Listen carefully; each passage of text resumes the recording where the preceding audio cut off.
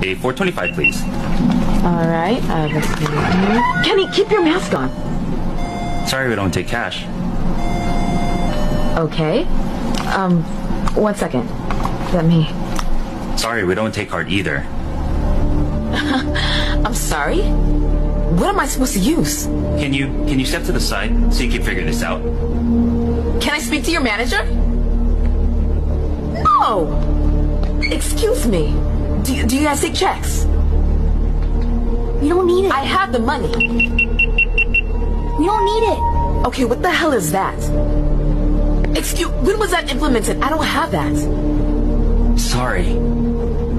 But we're cashless now. I had to implement the new system just to stay in business. It's it's okay, Mom. You don't need it. Let's just just go. Hope you understand. Oh, but hey, hey, um, if you want to check out Mike's Corner store right up the street, you might have some luck.